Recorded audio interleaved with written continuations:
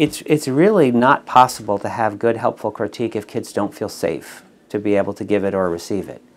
And so it's sort of, it's a prerequisite for a good culture of critique that the classroom feel emotionally, physically safe for kids, socially safe for kids. And it, it needs to be safe both in the sense that you feel like you are you can be vulnerable, you can be open to receiving critique, you don't need to be protective in a shell all the time. But it also needs to be safe in the sense that kids can have the courage to speak up and say what they actually think. So um, the older kids are, the more there becomes a hierarchy of sort of social status in a school. So if you're in a middle school or high school in particular, social status can be really important.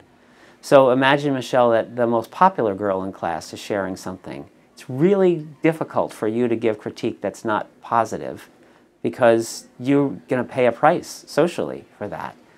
Unless you have built an atmosphere where there is some trust that we're all trying to get better together, and this is not about social hierarchy, it's not about who's cool, it's not about and, and so kids are willing to take risks to say hard things in a kind way, and kids are willing to listen to that without feeling like they've been exposed too much in front of a group.